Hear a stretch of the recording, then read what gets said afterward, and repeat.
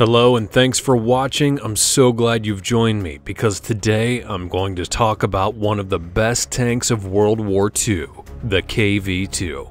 The KV-2 assault gun tank was developed from the KV-1 series of heavy tanks, appearing in 1939 and 1940 with the Red Army whereas the KV-1 series was intended to be a direct combat tank designed to tackle enemy tank systems and spearhead advances.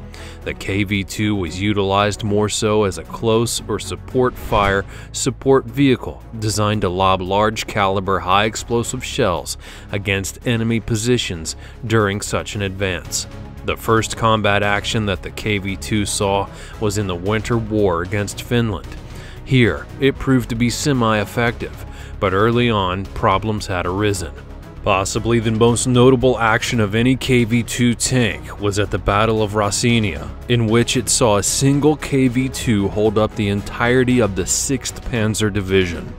The KV-2 had destroyed about two dozen tanks by the end of the engagement. A limited set of early KV-2 vehicles were fitted with 122mm M1938 L22-7 howitzers, but this would eventually be upgunned to become the more noted 152mm M1938 L24-3 caliber weapon. The 152 gun became the largest caliber weapon that was ever fitted to a serial production tank. In either case, the armament required a large powered turret structure for which the crew could manage its functions and recoil, while in relative safety from battlefield dangers and elements. Soviet engineers created a box-like 12-ton turret which sported a 360-degree traversal and some 762mm of armor protection.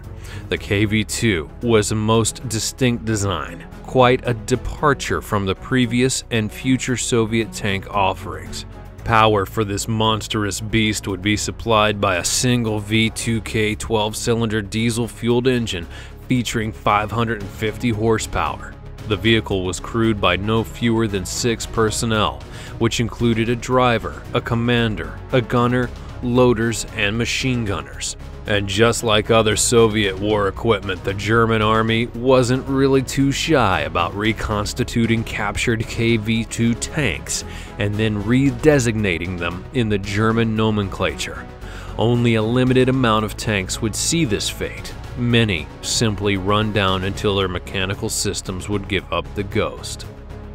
The KV-2 featured a mass of 52 tons, with a crew of six and an elevation of about 37 degrees.